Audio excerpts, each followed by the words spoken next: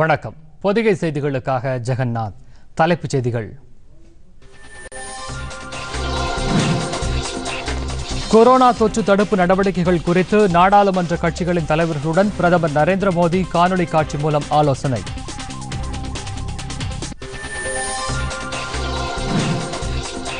அத்தியாவசிய பொருட்கள் பதுக்கல் மற்றும் கூடுதல் விலைக்கு விற்போர் மீது அதிகாரிகள் கடும் நடவடிக்கை எடுக்க வேண்டும். மத்திய உள்துறை அமைச்சர் அமித்ஷா அறிவுறுத்தல்.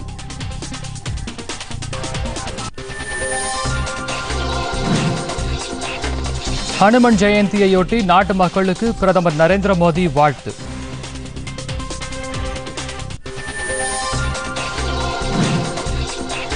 கொரோனா தொற்று வேகமாக பரவி வரும் சூழலில் மாநில அரசுகள் தங்களுக்கு வசதியான இரத்த பரிசோதனை மையங்களை ஏற்படுத்திக் கொள்ளலாம். இந்திய மருத்துவ ஆராய்ச்சி கழகம்.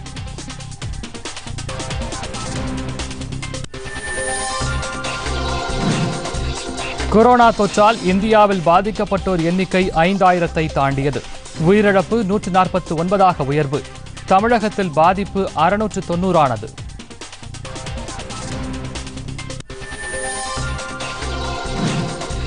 கொரோனா பாதிப்பால் தீவிர சிகிச்சை பிரிவில் அனுமதிக்கப்பட்டுள்ள பிரிட்டன் பிரதமர் போரிஸ் ஜான்சனின் உடல்நிலை சீராக உள்ளது.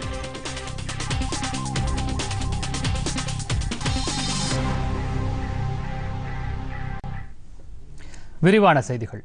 உலகையே அச்சுறுத்தி வரும் கொரோனா தொற்று பரவலை இந்தியாவில் தடுக்க மத்திய மாநில அரசுகள் மேற்கொண்டு வரும் நடவடிக்கைகள் குறித்து நாடாளுமன்ற கட்சி தலைவர்களுடன் பிரதமர் நரேந்திர மோடி காணொலி காட்சி மூலம் ஆலோசனை நடத்துகிறார். இந்த ஆலோசனையின் போது நாடாளுமன்ற இரு அவைகளிலும் ஐந்துக்கும் மேற்பட்ட உறுப்பினர்களை கொண்ட கட்சிகளின் தலைவர்கள் பிரதமருடன் பங்கேற்கிறார்கள். நாடு முழுவதும் தற்போதைய சூழலில் ஊரடங்கை மக்கள் கட்டாயமாக பின்பற்ற மாநில அரசுகள் எடுத்து வரும் நடவடிக்கைகள் தொற்று தடுப்பு பணிகள் கிருமி நாசினி தெளிப்பு போன்ற சுகாதார பணிகள் மற்றும் மற்றும் மக்களுக்கு அத்தியாவசிய பொருட்கள் கிடைப்பதை உறுதி செய்தல் போன்ற பல்வேறு விஷயங்கள் குறித்து பிரதமர் நரேந்திர மோடி மாநில முதலமைச்சர்கள் மற்றும் அமைச்சர்களுடன் தொடர் இடைவெளியில் ஆலோசனை மேற்கொண்டு வருகிறார். அதன் தொடர்ச்சியாக தற்போது நாடாளுமன்ற இரு அவைகளிலும் இடம்பெற்றுள்ள அரசியல் கட்சிகளின் தலைவர்கள் மற்றும் பிரதிநிதிகளுடன் பிரதமர் ஆலோசனை நடத்துகிறார். தொற்று பரவலின் தாக்கம் மற்றும் ஊரடங்கு முடிவடைந்த பின்னர் எடுக்கப்பட வேண்டிய நடவடிக்கைகள் குறித்தும் பிரதமர் ஆலோசனை நடத்துவார் என தகவல் அறிந்த வட்டாரங்கள் தெரிவிக்கின்றன. அரசு மேற்கொள்ள வேண்டிய தொடர் நடவடிக்கைகள் குறித்த கருத்துக்களை அரசியல் கட்சிகளின் பிரதிநிதிகள் தெரிவிக்க வேண்டும் என்று பிரதமர் கேட்டுக்கொள்வார் என்றும் எதிர்பார்க்கப்படுகிறது.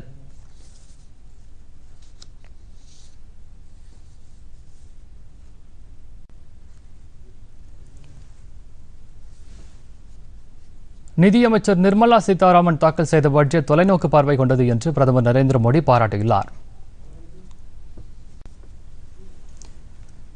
பொருளாதார மேம்பாட்டை துரிதப்படுத்தி வேலைவாய்ப்பை அதிகரிக்கும் பட்ஜெட் என விவசாயிகளின் வருவாயை உயர்த்த வகை செய்யும் பட்ஜெட் என்று குறிப்பிட்டுள்ள வேளாண் துறைகளின் செலவுகளை குறைத்து விளைபொருட்களை சந்தைக்கு கொண்டு செல்வதற்கான வசதிகளை பெருக்கும் பட்ஜெட் என்று பிரதமர் பாராட்டினார்.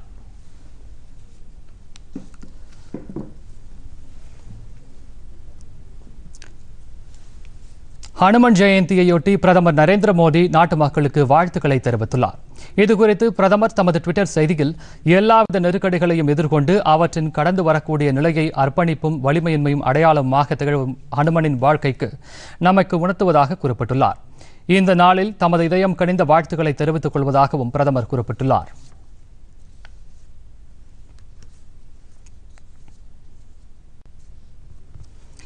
கொரோனா தொற்று இந்தியா உட்பட உலக நாடுகளை உலுக்கி வரும் சூழலில் பிரதமர் நரேந்திர மோடி நேற்று ஸ்வீடன் பிரதமர் பஹ்ரைன் மற்றும் ஓமன் நாடுகளின் மன்னர்களுடன் தொலைபேசி மூலம் ஆலோசனை நடத்தினார்.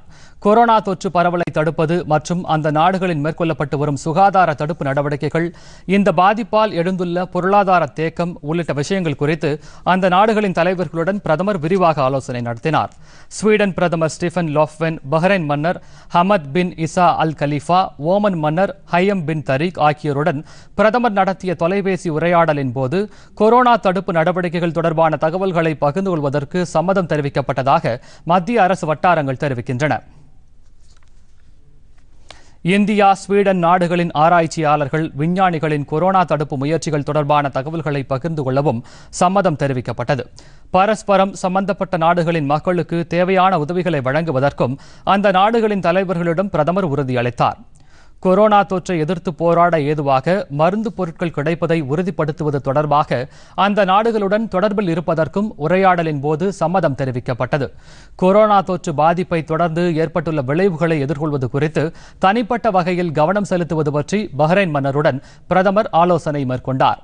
மேலும் தற்போதைய சுகாதார நெருக்கடி சூழலில் இந்தியாவுடன் இணைந்து அந்த நாடுகளின் ஒத்துழைப்பை பரஸ்பரம் பரிமாறிக்கொள்வது என்றும் பிரதமர் குறிப்பிட்டதாக செய்திகள் தெரிவிக்கின்றன. ஓமனில் உள்ள இந்திய வம்சாவளியினரின் பாதுகாப்பு மற்றும் உடல்நலன் குறித்து பிரதமருக்கு அந்நாட்டு மன்னர் உறுதியளித்தார். ஓமன் மக்களுக்கு மத்திய அரசு அண்மையில் அளித்த ஆதரவுக்கு பிரதமருக்கு மன்னர் ஹைத்தம் நன்றி தெரிவித்துக் கொண்டார். அந்நாட்டு மன்னர் சுல்தான் கபூஸின் மறைவுக்கு பிரதமர் நரேந்திர மோடி தமது இரங்கலை தெரிவித்துக் கொண்டார். குடியரசுத் தலைவர் துணைத் தலைவர் பிரதமர் மற்றும் நாடாளுமன்ற உறுப்பினர்களின் முப்பது சதவீத சம்பள பிடித்தம் செய்வதற்கு பிறப்பிக்கப்பட்ட அவசர சட்டத்திற்கு குடியரசுத் தலைவர் ராம்நாத் கோவிந்த் ஒப்புதல் அளித்துள்ளார். நாடு முழுவதும் கொரோனா தொற்று தடுப்பு மற்றும் நிவாரணப் பணிகளுக்கு கூடுதல் நிதி வழங்க ஏதுவாக குடியரசுத் தலைவர் குடியரசு துணைத் தலைவர் பிரதமர் நாடாளுமன்ற உறுப்பினர்களின் சம்பளத்தில் முப்பது சதவீதம் பிடித்தம் செய்ய மத்திய அமைச்சரவை ஒப்புதல் அளித்து அதற்கான அவசர சட்டம் பிறப்பிக்கப்பட்டது. தற்போது இந்த சட்டத்திற்கு குடியரசுத் தலைவர் ராம்நாத் கோவிந்த் நேற்று ஒப்புதல் அளித்துள்ளார். கொரோனா வைரஸ் தடுப்பு பணிகளுக்காகவும் நிதி சிக்கனத்தை கடைபிடிக்கும் வகையிலும் மத்திய அரசு இந்த நடவடிக்கையை மேற்கொண்டுள்ளது. இது தவிர நாடாளுமன்ற உறுப்பினர்களின் தொகுதி மேம்பாட்டு நிதியும் இரண்டு ஆண்டுகளுக்கு வழங்கப்படாது என மத்திய அரசு அறிவித்தது. இந்த நிதி கொரோனா தடுப்பு பணிகளுக்கு பயன்படுத்தப்படும் என்று ஏற்கனவே தெரிவிக்கப்பட்டுள்ளது.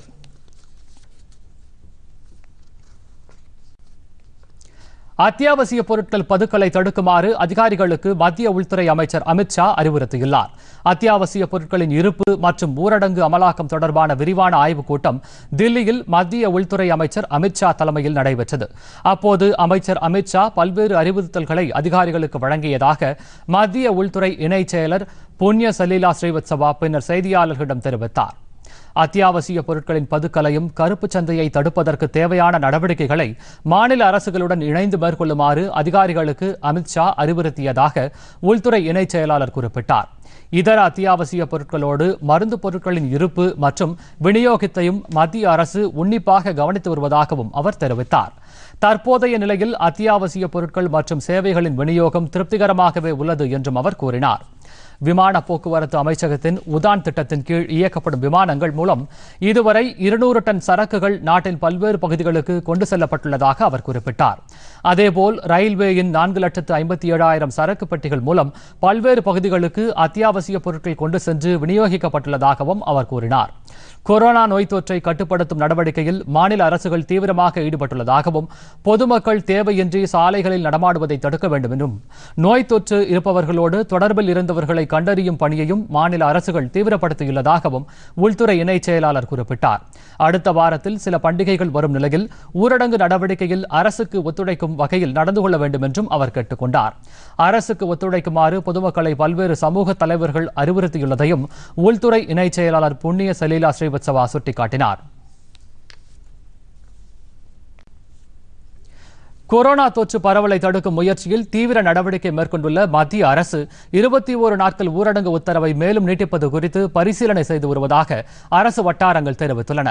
வேகமாக பரவி வரும் இந்த நோய் தொற்றை கட்டுப்படுத்த வரும் பதினான்காம் தேதி வரை ஊரடங்கு உத்தரவு பிறப்பிக்கப்பட்டுள்ளது. நூற்று நாற்பத்தி நான்கு தடை உத்தரவை மேலும் சில நாட்களுக்கு நீட்டிக்க வேண்டும் என மத்திய அரசுக்கு பல்வேறு மாநில அரசுகளும் நிபுணர்களும் கோரிக்கை விடுத்துள்ளனர். இதையடுத்து ஊரடங்கு உத்தரவை நீட்டிப்பது குறித்து மத்திய அரசு ஆலோசித்து வருவதாகவும் எனினும் பல்வேறு தரப்பினரின் கருத்துக்களையும் அறிந்த பிறகே அது தொடர்பான முடிவு எடுக்கப்படும் என்றும் அரசு வட்டாரங்களை மேற்கோள் காட்டி புதுதில்லியில் தகவல்கள் வெளியாகின.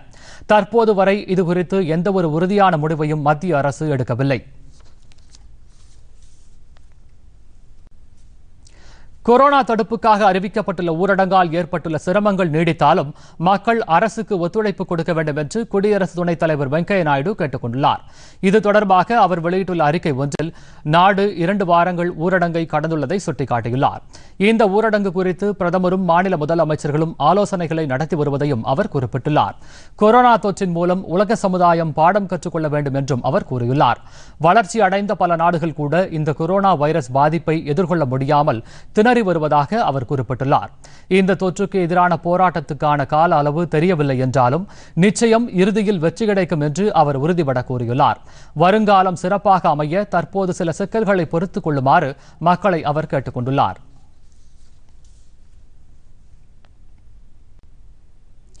கோவிட் 19 தொற்று வேகமாக பரவி வரும் தற்போதைய சூழ்நிலையில் மாநில அரசுகள் தங்களுக்கு வசதியான பகுதிகளில் இரத்த பரிசோதனை மையங்களை அமைப்பதற்கு எந்தவித தடையும் இல்லை என்று இந்திய மருத்துவ ஆராய்ச்சி கழகமான ஐசிஎம்ஆர் தெரிவித்துள்ளது. என்றாலும் அமைக்கப்படும் பரிசோதனை மையங்கள் ஐசிஎம்ஆரின் வழிமுறைகளை கண்டிப்பாக பின்பற்ற வேண்டும் என்று அந்த கழகம் தெரிவித்துள்ளது. மேலும் இரத்த மாதிரிகளை சேகரிக்கும் போது ஐசிஎம்ஆர் பரிந்துரைத்துள்ள தனிநபர் பாதுகாப்பு சாதனங்களை அவசியம் அணிந்திருக்க வேண்டும் என தெரிவிக்கப்பட்டுள்ளது. அந்தந்த மாநில அரசுகள் இந்த பரிசோதனை மையங்களை ஏற்படுத்திக் கொள்ளலாம் என்றும் இந்த மையங்களில் அரசு பரிந்துரைத்துள்ள நடைமுறைகளின்படி தொடர்ந்து கிருமி நாசினி ஒழிப்பு மேற்கொள்ளப்பட வேண்டும் என்றும் அறிவுறுத்தியுள்ளது. உயிரி பாதுகாப்பு முன்னெச்சரிக்கை நடவடிக்கைகளை பின்பற்ற வேண்டும் என்றும் ஐசிஎம்ஆர் வெளியிட்டுள்ள பரிந்துரையில் கூறப்பட்டுள்ளது. கொரோனா தொற்றை தடுக்க அறிவிக்கப்பட்டுள்ள ஊரடங்கின் போது சீரான கப்பல் போக்குவரத்தை உறுதி செய்ய கப்பல் அமைச்சகம் ஆக்கப்பூர்வமான பணியை மேற்கொண்டுள்ளதாக அந்த அமைச்சகம் கூறியுள்ளது. இது தொடர்பாக அந்த அமைச்சகம் வெளியிட்டுள்ள அறிக்கையில் வெப்பமானிகளை கொண்டு துறைமுகங்களில் நாற்பத்தி ஆறாயிரத்து இருநூற்றி இரண்டு பயணிகள் பரிசோதிக்கப்பட்டுள்ளதாக தெரிவிக்கப்பட்டுள்ளது. ஊரடங்கின் போது சரக்குகள் வந்தடைவதிலோ அல்லது எடுத்துச் செல்வதிலோ தாமதம் ஏற்பட்டால் அதற்கான தாமத கட்டணத்தை உபயோகிப்பாளர்களிடமிருந்து வசூலிப்பதில்லை என்றும் அந்த அமைச்சகம் கூறியுள்ளது. but அரசு தனியார் கூட்டு பங்கேற்பு அல்லது வேறு விதங்களில் செயல்படுத்தப்படும் எந்த திட்டத்து நிறைவு காலமும் துறைமுகங்களால் நீட்டிக்கப்படுவதற்கு அனுமதி வழங்கப்பட்டுள்ளதாகவும் தெரிவிக்கப்பட்டுள்ளது. முக்கிய துறைமுக பொறுப்பு கழகங்களில் உள்ள மருத்துவமனைகளுக்கு தனிநபர் பாதுகாப்பு உபகரணங்கள் அளிக்கப்பட்டுள்ளதாகவும் அதில் குறிப்பிடப்பட்டுள்ளது. கப்பல் அமைச்சகத்தின் கீழ் உள்ள துறைமுகங்கள் மற்றும் பொதுத்துறை நிறுவனங்கள் ஐம்பத்தி இரண்டு கோடி ரூபாய்க்கும் அதிகமான தொகையை பெருநிறுவன பொறுப்பு நிதியிலிருந்து பி எம் கேர்ஸ் நிதியத்துக்கு வழங்கியுள்ளதாகவும் அந்த அமைச்சகத்தின் அறிக்கை தெரிவிக்கிறது. கொரோனா வைரஸ் பரவலை கட்டுப்படுத்த கப்பல் தொழில்களுக்கு உதவ கப்பல்கள் இயக்குநரகம் ஒரு வழிகாட்டுதல் கையேட்டை தயாரித்து அதன்படி துறைமுக நடவடிக்கைகள் நடைபெற்று வருவதாகவும் கப்பல் போக்குவரத்து துறை அமைச்சகம் கூறியுள்ளது. நாடு முழுவதும் மிகப்பெரிய சவாலாக எழுந்துள்ள கொரோனா வைரஸ் தொற்றை முறியடிக்க உதவும் வகையில் தங்களது கருத்துக்களை மாணவர்கள் ஆராய்ச்சியாளர்கள் உள்ளிட்டோர் சமாதான் என்ற ஆன்லைன் செயலியில் தெரிவிக்க வேண்டும் என மத்திய அரசு கேட்டுக் கொண்டுள்ளது இது தொடர்பாக மனிதவள மேம்பாட்டுத்துறை அமைச்சர் ரமேஷ் பொக்ரியால் நிஷாங்க் வெளியிட்டுள்ள டுவிட்டர் பதிவில் மாணவர்கள் ஆராய்ச்சியாளர்கள் கல்வியாளர்கள் கண்டுபிடிப்பாளர்கள் உள்ளிட்டோர் தொற்றை எதிர்கொண்டு முறியடிக்க தங்களது கருத்துக்களை பகிர்ந்து கொள்ளுமாறு குறிப்பிட்டுள்ளார். அதிநவீன தொழில்நுட்ப அடிப்படையிலான தொற்று தடுப்பு நடவடிக்கை தீர்வுகள் குறித்து மதிப்பீடு செய்து உடனடியாக தங்களின் ஆரோக்கியமான தகவல்களை சமாதான் என்ற ஆன்லைன் தளத்தில் தெரிவிக்க வேண்டும் என்றும் அவர் கேட்டுக் கொண்டுள்ளார் இதற்கான விண்ணப்பங்களை வரும் பதினான்காம் தேதிக்குள் சம்பந்தப்பட்டவர்கள் ஆன்லைனில் அனுப்ப வேண்டும் என்றும் அமைச்சர் வலியுறுத்தியுள்ளார். பிரதமரின் கரீப் கல்யாண் அன்ன யோஜனாவின் கீழ் தேசிய உணவு பாதுகாப்பு சட்டத்தின் அடிப்படையில் அடுத்த மூன்று மாதங்களுக்கு நபர் ஒருவருக்கு ஐந்து கிலோ தானியங்கள் வழங்குவதற்கு ஏதுவாக போதுமான இருப்பை இந்திய உணவுக் கழகம் மாநிலங்களுக்கு அனுப்பியுள்ளது. இதன் மூலம் பயனாளிகளுக்கு தடையின்றி உணவு தானியங்கள் கிடைக்கும் என்று இந்திய உணவுக் கழகம் தெரிவித்துள்ளது. இந்த திட்டத்தின் கீழ் இந்திய உணவுக் கழகத்திடமிருந்து உணவு தானியங்களை பெறும் நடவடிக்கைகளை உத்தரப்பிரதேசம் பீகார் தெலுங்கானா இமாச்சல பிரதேசம் உள்ளிட்ட பல மாநிலங்கள் ஏற்கனவே தொடங்கிவிட்டன. அடுத்த சில நாட்களில் அனைத்து மாநிலங்களும் உணவு தானியங்கள் விநியோகிக்கும் பணிகளை தொடங்கும் என்று தெரிகிறது. இதற்கு ஏதுவாக இந்திய உணவுக் கழகம் போதுமான உணவு தானியங்களை அனைத்து பகுதிகளுக்கும் அனுப்பியுள்ளது. நாள் ஒன்றுக்கு ஒரு லட்சத்து நாற்பத்தி ஓராயிரம் மெட்ரிக் டன் உணவு தானியங்களை உணவுக் கழகம் அனுப்பி வருவதாக தெரிவித்துள்ளது. மேலும் தேவைப்படும் உணவு தானியங்களை கூடுதலாக வழங்கவும் தயாராக உள்ளது என்றும் இந்திய உணவுக் கழகம் வெளியிட்ட தகவல் தெரிவிக்கிறது.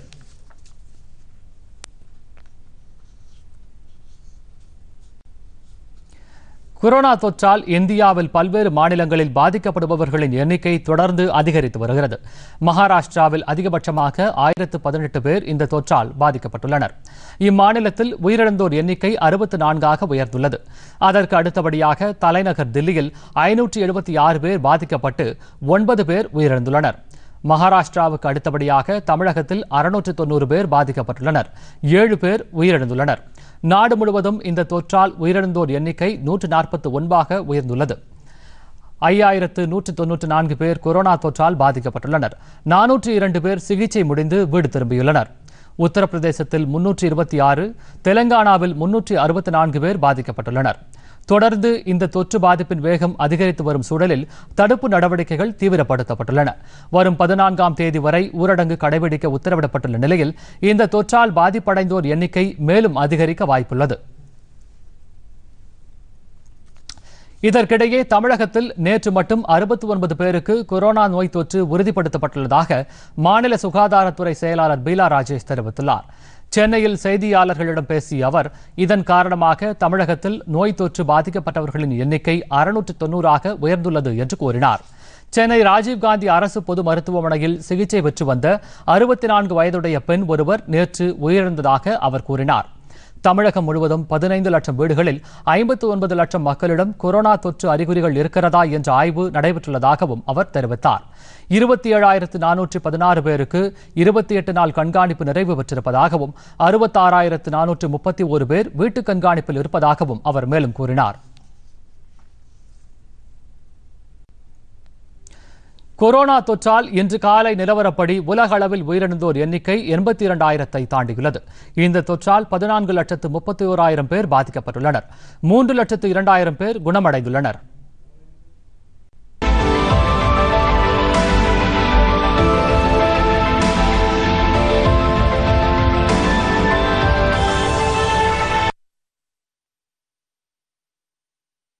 அமெரிக்காவில் கொரோனா வைரஸ் தாக்குதலுக்கு நேற்று ஒரே நாளில் ஆயிரத்து தொள்ளாயிரத்து பத்தொன்பது பேர் உயிரிழந்துள்ளனர். அந்நாட்டில் நியூயார்க் நகரில் மட்டும் நேற்று எழுநூறுக்கும் மேற்பட்டோர் உயிரிழந்துள்ளனர். நேற்று ஒரே நாளில் அமெரிக்காவில் இருபத்தி எட்டாயிரத்திற்கும் மேற்பட்டோருக்கு இந்த தொற்று உறுதி செய்யப்பட்டுள்ளது. அந்நாட்டில் பாதிக்கப்பட்டுள்ளோரின் எண்ணிக்கை நான்கு லட்சத்தை தாண்டியுள்ளது. உயிரிழந்தவர்களின் எண்ணிக்கை பனிரெண்டாயிரத்து எண்ணூற்று நாற்பத்தி ஒன்றாக உள்ளது.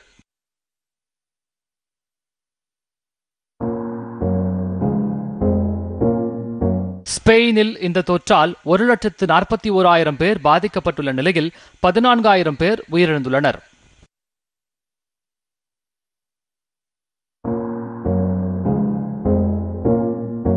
இத்தாலியில் ஒரு லட்சத்து முப்பத்தி ஐந்தாயிரம் பேர் பாதிக்கப்பட்டுள்ளனர். பதினேழாயிரத்து நூற்றி இருபத்தி ஏழு பேர் உயிரிழந்துள்ளனர்.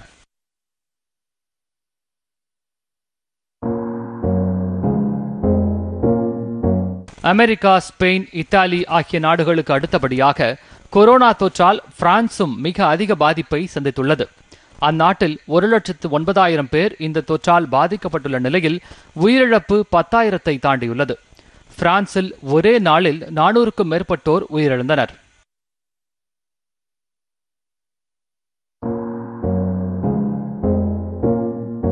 ஜப்பானில் கொரோனா தொற்றால் நான்காயிரத்து இருநூற்றி ஐம்பத்தி ஏழு பேர் பாதிக்கப்பட்டுள்ளனர். அந்நாட்டில் தொன்னூற்றி மூன்று பேர் உயிரிழந்துள்ளனர். இந்த தொற்றை கட்டுப்படுத்த தலைநகர் டோக்கியோ உள்ளிட்ட அந்நாட்டின் ஆறு முக்கிய பகுதிகளிலும் பிரதமர் ஷின்சோ அபே அவசர நிலையை பிரகடனம் செய்துள்ளார்.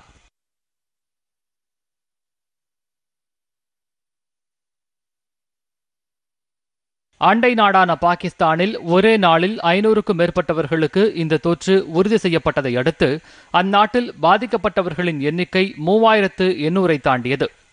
அந்நாட்டில் இந்த தொற்றுக்கு இதுவரை ஐம்பத்தி நான்கு பேர் உயிரிழந்துள்ளனர்.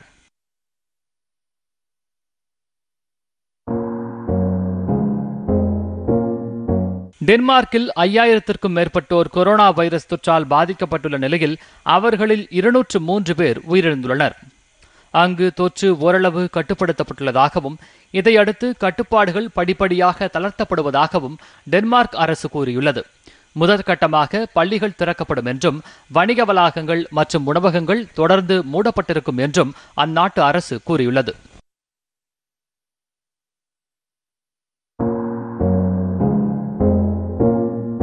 சீனாவில் கொரோனா வைரஸ் பாதிப்பு முதலில் ஏற்பட்ட வூஹான் நகரில் எழுபத்தி மூன்று நாள் அமலில் இருந்த ஊரடங்கு விலக்கிக் கொள்ளப்பட்டுள்ளது. புதிதாக எந்த உயிரிழப்பும் ஏற்படவில்லை என்று தகவல் வெளியாகியுள்ளது. இந்த பாதிப்பால் பதினோரு வாரங்கள் முழுமையாக முடக்கப்பட்டிருந்த வூகானில் போக்குவரத்து மற்றும் வணிக வளாகங்கள் பகுதி அளவில் செயல்பட தொடங்கியுள்ளன. சீனாவில் கொரோனா பாதிப்புகள் நாளுக்கு நாள் அதிகரித்துக் கொண்டே சென்றதால் வைரஸை கட்டுப்படுத்த முடியாமல் சீனா திணறி வந்தது. பின்னர் சீன அரசு வுகான் மாகாணத்தை முடக்கியது. சீனாவின் தொடர் நடவடிக்கைகளால் தற்போது கணிசமாக கொரோனா அங்கு கட்டுக்குள் வந்தது. வுகானில் மக்கள் நடமாட்டம் இயல்பாக உள்ள நிலையில் வணிக வளாகங்கள் உணவகங்கள் செயல்பட தொடங்கியுள்ளன. கடந்த ஜனவரி மாதம் முதல் தொடர்ந்து உயிரிழப்புகள் ஏற்பட்டு வந்த நிலையில் கடந்த மாத பிற்பகுதியில் உயிரிழப்புகள் குறையத் தொடங்கின. புதிதாக கொரோனா தொற்றால் பாதிக்கப்படுபவர்களின் எண்ணிக்கை கணிசமாக குறையத் தொடங்கியது. ஆனாலும் மார்ச் மாத பிற்பகுதியில் தினமும் குறைந்த எண்ணிக்கையிலான உயிரிழப்புகள் பதிவாகி வந்தன. கடந்த ஜனவரி மாதம் தொடங்கி தொடர்ந்து உயிரிழப்புகள் ஏற்பட்ட நிலையில் நேற்று முன்தினம் முதன்முறையாக கொரோனா தொற்றால் எந்த உயிரிழப்பும் ஏற்படவில்லை என்று சீன சுகாதார ஆணையம் கூறிய நிலையில் நேற்று புதிதாக இருவர் உயிரிழந்ததாக தகவல் வெளியாகியுள்ளது. இது தவிர அறுபத்தி இரண்டு பேருக்கு புதிதாக தொற்று கண்டறியப்பட்டுள்ளதாக சீன சுகாதாரத்துறை இன்று காலை தெரிவித்துள்ளது.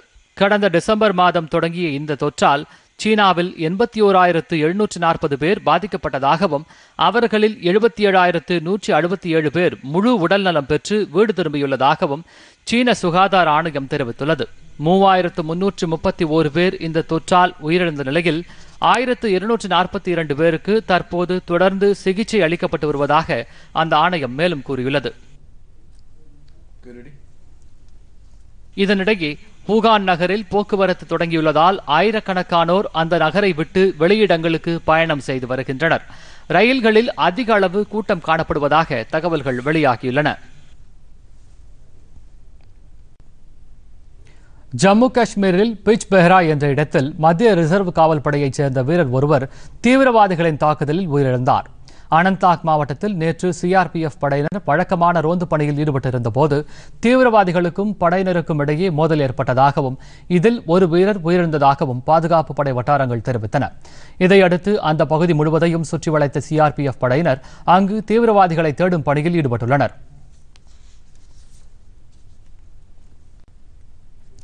கிருஷ்ணகிரி பகுதியைச் சேர்ந்த பொம்மலாட்ட கலைஞர் ஒருவர் வீட்டில் இருந்தபடியே கொரோனா தடுப்பு குறித்து பொதுமக்களுக்கு விழிப்புணர்வை ஏற்படுத்தி வருகிறார். சங்கர் என்ற அந்த பொம்மலாட்ட கலைஞர் கடந்த இருபத்தி ஏழு ஆண்டுகளாக மத்திய மாநில அரசுகளின் திட்டங்கள் குறித்து பொதுமக்களுக்கு விழிப்புணர்வை ஏற்படுத்தும் பணியில் ஈடுபடுகிறார். அறிவொளி இயக்கம் கற்கும் பாரதம் போலியோ ஒழிப்பு நீர் சேமிப்பு உள்ளிட்ட பல்வேறு அம்சங்கள் தொடர்பாக அவர் விழிப்புணர்வு பணியில் ஏற்கனவே ஈடுபட்டுள்ளார். இந்நிலையில் கொரோனா தொற்று தடுப்பு குறித்து பொம்மலாட்ட நிகழ்ச்சி வாயிலாக வீட்டிலிருந்தே பொம்மைகளை வைத்து நாடகங்களை உருவாக்கி அதை பதிவு செய்து வலைதளங்களில் பதிவேற்றம் செய்கிறார். சமூக விலகல் கடைபிடிக்க வேண்டியதன் அவசியம் குறித்தும் இந்த நாடகங்களில் அவர் எடுத்துரைக்கிறார்.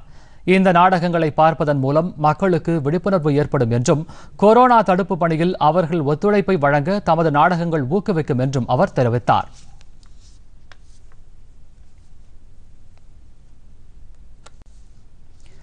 தூத்துக்குடியில் தனியார் மருத்துவமனை ஆய்வக ஊழியர் ஒருவர் உட்பட ஆறு பேருக்கு கொரோனா தொற்று உறுதி செய்யப்பட்டுள்ளதை அடுத்து அவர்கள் அரசு மருத்துவக் கல்லூரி மருத்துவமனையில் தனிமைப்படுத்தப்பட்டுள்ளனர். தூத்துக்குடி மாவட்டத்தைச் சேர்ந்த பதினேழு பேருக்கு கொரோனா தொற்று இருப்பது உறுதி செய்யப்பட்டுள்ளது. நேற்று ஒரே நாளில் ஆறு பேருக்கு இந்த தொற்று உறுதி செய்யப்பட்டது. தனியார் மருத்துவமனை ஊழியருக்கும் தொற்று உறுதி செய்யப்பட்டதை அடுத்து அந்த மருத்துவமனையின் தலைமை மருத்துவர் ஆய்வக உதவியாளர்கள் உள்ளிட்ட ஏழு பேருக்கு ரத்தம் மற்றும் சளி மாதிரிகள் எடுக்கப்பட்டு ஆய்வுக்கூடத்திற்கு அனுப்பப்பட்டுள்ளது. அவர்கள் அனைவரும் வீடுகளில் தனிமைப்படுத்தப்பட்டுள்ளனர். இதையடுத்து அந்த தனியார் மருத்துவமனை மக்கள் நல்வாழ்வுத்துறையின் கீழ் கட்டுப்பாட்டில் கொண்டு வரப்பட்டு அங்கிருந்த உள்நோயாளிகள் வேறு மருத்துவமனைக்கு அனுப்பி வைக்கப்பட்டுள்ளனர்.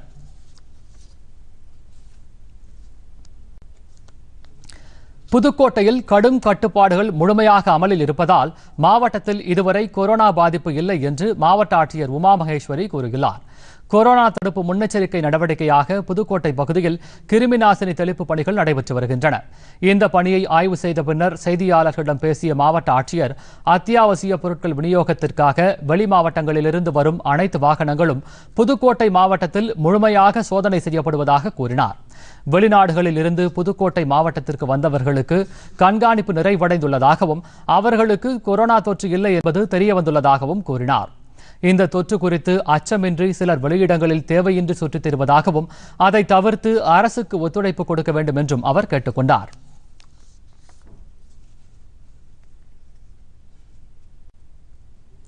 குன்னூர் பாஸ்டியூர் நிறுவனத்தில் கொரோனா தொற்று குறித்த பரிசோதனைக்கான அனைத்து உபகரணங்கள் மற்றும் ஆய்வக வசதிகள் உள்ளதாகவும் பரிசோதனைக்கான அனுமதி அரசிடம் கோரப்பட்டுள்ளதாகவும் அந்த நிறுவனத்தின் இயக்குநர் சிவக்குமார் கூறியுள்ளார். இது தொடர்பாக செய்தியாளர்களிடம் பேசிய அவர் தற்போது நீலகிரி மாவட்டத்தில் சேகரிக்கப்படும் சளி மற்றும் இரத்த மாதிரிகள் சென்னை கிங்ஸ் ஆய்வகத்திற்கு அனுப்பப்படுவதாக தெரிவித்தார். குன்னூர் பாஸ்டியூர் நிறுவனத்தில் உள்ள வசதிகளை கொண்டு சுமார் எண்பது மாதிரிகளை பரிசோதிக்க முடியும் என்றும் அவர் கூறினார். இது தொடர்பாக சுகாதார பணிகள் துறை இணை இயக்குநர் தலைமையிலான குழு இந்த நிறுவனத்தை நேரில் பார்வையிட்டு ஆய்வு செய்திருப்பதாகவும் அவர் தெரிவித்தார்.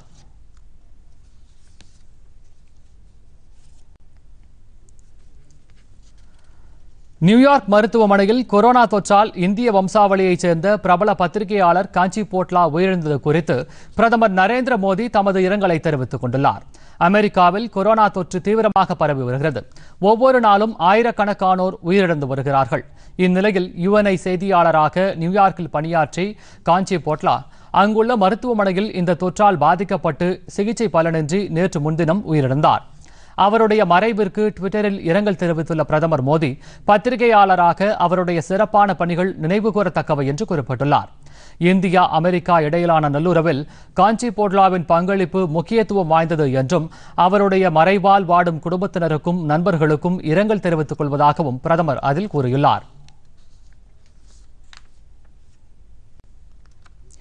உலக சுகாதார அமைப்புக்கு வழங்கப்பட்டு வரும் நிதியை நிறுத்தப் போவதாக அமெரிக்க அதிபர் டொனால்டு ட்ரம்ப் கூறியுள்ளார். உலகம் முழுக்க கொரோனா பரவி வரும் வேளையில் கொரோனா தொற்றை தடுக்கும் பணியில் உலக சுகாதார மையம் தீவிரமாக பணியாற்றி வருகிறது. ஒவ்வொரு ஆண்டும் உலக சுகாதார அமைப்பின் மொத்த வரவு செலவு திட்டத்திற்கு பல நாடுகள் நிதியுதவி அளித்து வருகின்றன. உலக சுகாதார அமைப்பிற்கு அதிக நிதி அளித்து வரும் நாடாக அமெரிக்கா திகழ்ந்து வருகிறது. இந்நிலையில் வாஷிங்டனில் செய்தியாளர்களிடம் பேசிய அமெரிக்க அதிபர் டிரம்ப் உலக சுகாதார அமைப்பு அமெரிக்காவிடமிருந்து நிதியை பெற்றுக்கொண்டு சீனாவிற்கு ஆதரவாகவே செயல்படுகிறது என்று குற்றம் சாட்டினார். உலக சுகாதார அமைப்பு பல தவறான முடிவுகளை எடுத்து வருவதாகவும் அவர் குறை கூறினார். கொரோனா தடுப்பு பணிகளை பெரிய அளவில் அந்த அமைப்பு செய்யவில்லை என்றும் அதனால் அந்த அமைப்புக்கு வழங்கும் நிதியை நிறுத்தி வைக்க முடிவு செய்துள்ளதாகவும் ட்ரம்ப் கூறினார்.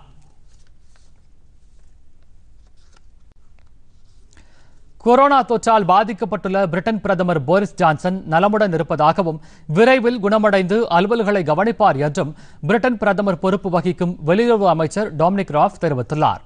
உலகம் முழுவதும் பெரிய பாதிப்பை ஏற்படுத்தியுள்ள கொரோனா தொற்று பிரிட்டனிலும் வேகமாக பரவி வருகிறது. அந்நாட்டில் இதுவரை சுமார் ஐம்பத்தி ஐந்தாயிரம் பேருக்கு வைரஸ் பாதிப்பு உறுதி செய்யப்பட்டுள்ளது. அந்நாட்டில் வைரஸ் தாக்குதலுக்கு இதுவரை ஆறாயிரத்துக்கும் மேற்பட்டோர் உயிரிழந்துள்ளனர். இதற்கிடையே பிரிட்டன் பிரதமர் போரிஸ் ஜான்சனுக்கும் கொரோனா தொற்று கடந்த மாதம் உறுதி செய்யப்பட்டது. இதையடுத்து அவர் தன்னைத்தானே பத்து நாட்களுக்கு தனிமைப்படுத்திக் கொண்டார். இந்த நிலையில் போரிஸ் ஜான்சன் உடல்நிலையில் எந்த முன்னேற்றமும் ஏற்படாததால் அவர் தற்போது சாதாரண பிரிவிலிருந்து தீவிர சிகிச்சை பிரிவுக்கு மாற்றப்பட்டுள்ளார். போரிஸ் ஜான்சன் மருத்துவமனையில் அனுமதிக்கப்பட்டுள்ள நிலையில் அந்நாட்டின் வெளியுறவுத்துறை அமைச்சர் டொமினிக் பிரதமரின் பொறுப்புகளை கவனித்து வருகிறார். போரிஸ் ஜான்சனின் உடல்நிலை குறித்து டாமினிக் ராப் கூறுகையில் முன்னெச்சரிக்கையாகவே அவர் அவசர சிகிச்சை பிரிவுக்கு மாற்றப்பட்டுள்ளார் எனவும் அவருக்கு செயற்கை சுவாசம் பொருத்தப்படவில்லை என்றும் தெரிவித்துள்ளார். போரிஸ் ஜான்சனுக்கு வெண்டிலேட்டர் பொருத்தப்படவில்லை என்றும் ஆக்சிஜன் மட்டுமே வழங்கப்படுவதாகவும் அவர் மேலும் கூறினார். செயின்ட் தாமஸ் மருத்துவமனையில் சிகிச்சை பெற்று வரும் அவருக்கு மருத்துவர்கள் குழு சிறப்பான சிகிச்சையை வழங்கி வருவதாகவும் அவரது உடல்நிலையில் நல்ல முன்னேற்றம் ஏற்பட்டுள்ளதாகவும் டொமினிக் தெரிவித்தார். இதனிடையே போரிஸ் ஜான்சன் விரைவில் குணமடைய பிரார்த்தனை செய்வதாக பிரதமர் நரேந்திர மோடி அமெரிக்க அதிபர் ட்ரம்ப் ஆகியோர் தெரிவித்துள்ளனர். போரிஸ் ஜான்சன் முழு உடல் நலத்துடன் மருத்துவமனையிலிருந்து விரைவில் திரும்புவார் என்று பிரதமர் நரேந்திர மோடி தமது டுவிட்டர் பதிவில் நம்பிக்கை தெரிவித்துள்ளார்.